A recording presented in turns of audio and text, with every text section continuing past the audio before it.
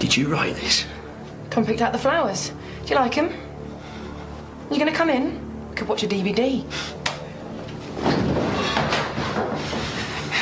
Aren't you gonna hit me? Don't tempt me. Or maybe you'd like to do something else. That's what this is all about, isn't it? You're a sick, messed up bitch. That's what this is about.